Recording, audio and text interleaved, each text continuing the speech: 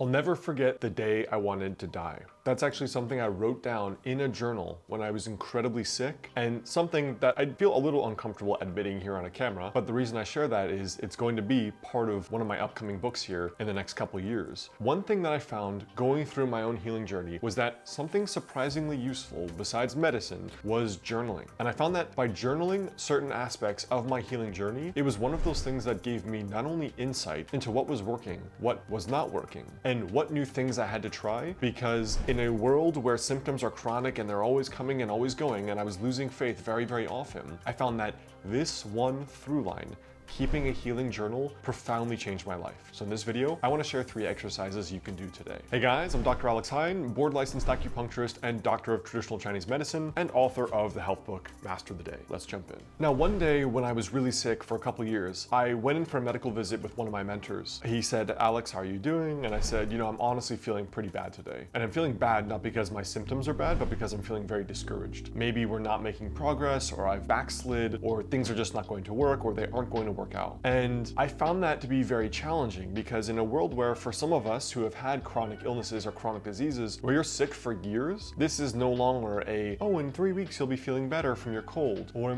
okay, in a month or two you may be feeling better if you just rest. When healing is a months to years long journey, it is very easy to be discouraged. And what you do in the interim is very important because it determines whether you are going to be sticking around with the rituals that will allow you to heal or whether you just give up and accept and resign yourself to the fact that you'll just be sick forever. So in this particular case, my symptoms were flaring up a lot because while I'd been doing quite well, Recently, I was traveling abroad somewhere, and it was really all of the jet lag and all of the bad sleep and a couple nights of insomnia and weird sleep, you know, not falling asleep till five in the morning and having to get up before the breakfast. And after that went on for a couple days, I started feeling really run down and really sick again, and I felt a lot of my old symptoms coming back. And it was around that time that I decided that I was going to begin keeping a journal. And the log would be Yes, on one level, just a boring log of my symptoms, where they were that day, what's better, what's worse, but also I made a promise to myself that I would keep a log of every single therapy that I was trying and really to see what was working and what was making a difference. Because I knew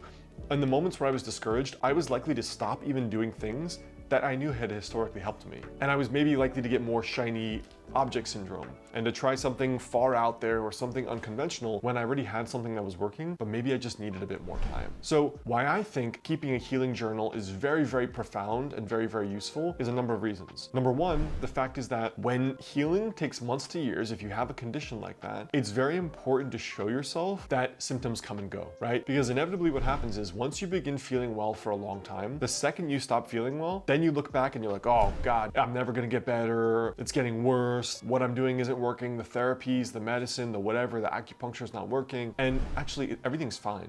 It just, your symptoms flare up in the fall a little bit, or they flare up when you begin eating a certain way for a few months, or you move into a period of high work stress and boom, your insomnia and anxiety symptoms come back for three, four weeks, or for a month or two, unless you treat them right away. One, you can really glean a lot about the cyclical nature of healing and of symptoms. Number two, you can keep referring back to what worked, right? I'll never forget, part of my log was keeping a log of what was working for me. So on the days where I was discouraged, I could go back and I could request that mentor, hey, could I book another visit? Because the formula you gave me really fixed my symptoms quite a lot. I knew it took a week or two, but after that, I was doing so much better. Reminding yourself of that versus what what a lot of people do, and even my own patients, they'll come in and they're doing amazing. They have a 95% reduction of symptoms within a couple months for a difficult illness, not just your everyday normal digestive problem or anxiety or insomnia. And then the first time that they drop off, right, their symptoms come back, they have a stressful work period, they maybe cancel a return visit, and then they get discouraged. Maybe I don't see them for a year and they're like, oh yeah, I saw these other practitioners. It didn't really work. I came back to you and right away it worked. And they had forgotten that I so far had been the person that got them the best clinical results. But because they forgot, it's very common to forget when you feel well, shocking shockingly, they go see someone else or they try something else and it doesn't work. So really to keep a log of what's working and what's not working is incredibly valuable. Now journaling is only one of the non-medical healing rituals that I recommend, but I've also put together a free guide which is four daily healing rituals that you can use potentially live a longer life, right? Improve your longevity and feel better. Now it's the first link below this video and in it we discuss some healing rituals from traditional Chinese medicine, East Asia, and the case study of a man who supposedly lived to be 250 years old. I don't think he did did, but the rituals he gives and his story are very powerful from a traditional Chinese medicine point of view. So check it out. Now, journaling ritual number one is what's the best I can do today? Why I think this is very important is because sometimes if you're chronically ill or you have a lot of symptoms going on, or it's just a regular day for you, you have to just figure out what's the best I can do today. And one thing I love is looking at the kind of vibrational or emotional spectrum that David Hawkins talks about. And I find it very interesting because at the bottom of the spectrum is really the lowest emotional states. Depression, apathy, fear, loathing, indifference, right? These states that are negative.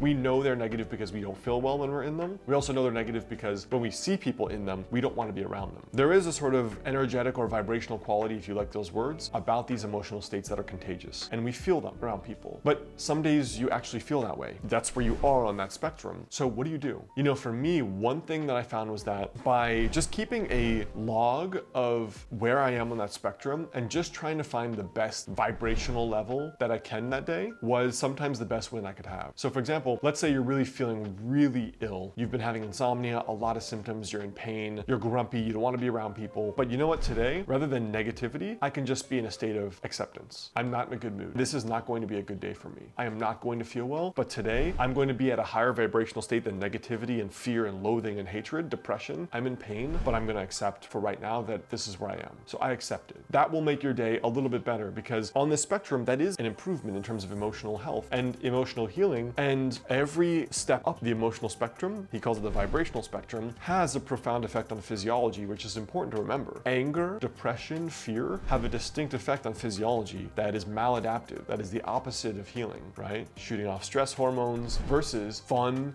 positive expectation, joy, these also have a profound effect on the body that is different in terms of hormones and neurotransmitter production and the effect on the nervous system, the adrenal system, HPA axis. So keep that in mind. These states are attached to certain physiological outputs as well. It's kind of interesting to think about. So just finding what is one step up that vibrational spectrum that I can go according to David Hawkins, because it will make a difference. Now, if you guys didn't know, I do work with a limited number of patients in my private practice in Los Angeles or virtually via telemedicine. And sometimes one of the things we work with is with trying to figure out where they are on the spectrum when things are very, very difficult. You know, this is sort of my homework to them to try your best to just move one rung up that ladder. So if that's something appealing to you guys, you can always reach out and call or email my private practice, my clinic, and we can always figure out a good time to chat more. But that is something that I do for a limited number of people every single month. The second useful healing journaling exercise is what's been working. Like I know in my journey, I can look back when I was having all those gut issues, the only things that worked were a specific carbohydrate diet and then really 80 or 90% traditional Chinese medicine formulas. So I actually put that on a little post-it note on my computer and on my desk. And I was like, for your healing, do one of these two things every single day, the majority of the days, and you will feel well. Now, if you know for anxiety or depression or whatever it is, that daily exercise or daily time connecting with people, building your community is the thing that makes you feel the best and leads to the best improvement in your symptoms, then actually write down what has worked the best so far and just do more of that. It's often surprising how often people will forget that when they begin to feel well. You know, I have patients in my practice, they drop off sometimes for a year or two years. They come back, they've been on this whole medical odyssey. And I'm like, well, why don't you just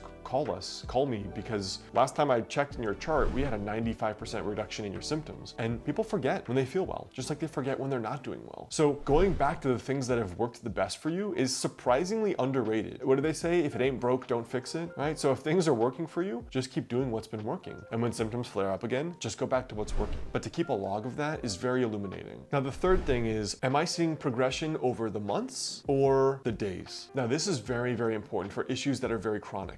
Autoimmune disease, Lyme disease, chronic fatigue, really severe depression, all kinds of issues that are very, very chronic and take months to years to treat or potentially resolve or functionally reverse. These are things that we don't measure the improvement in a 24 hour window. In my mind, as the practitioner, right? As Dr. Alex, I'm thinking, let's give this person this formula for three, four weeks, see how they're doing when they come back. If we see a five to 10% improvement, but clear, great, we are right on track. Over a year, they can be off most of those medications. But sometimes when we're in the patient's body and we're sick, we're thinking, yesterday was my best day of no depression, today is my worst day. It's not working. But that's not necessarily true. Because a lot of what's happening is those day-to-day fluctuations can be contextual. I exercised that day, I didn't that day. I had insomnia that night, I didn't that night. I ate something I don't normally normally eat. I ate what I normally eat. I had stress at work over these three weeks. It was a normal work week. All of these factors contribute to the daily vicissitudes, the fluctuations of your symptoms. And what I found was that what is very helpful is keeping a journal to see over a month long period, are we improving? Not over a 24 hour period, but over a month period and over a quarter, a season. Am I improving? You know, when you look at giant companies and the way they forecast their revenue, a lot of them they look at quarterly earnings because there may be giant fluctuations day to day, week to week, even month to month, but they want to see quarter over quarter growth. And so in the same way, we want to see quarter over quarter or season over seasonal growth. And that's something that I have to remember to reiterate to my patients and to myself because you can't always measure healing in a 24 hour window. Sometimes it does take a month, 30 days to begin seeing the fog lifting, for example.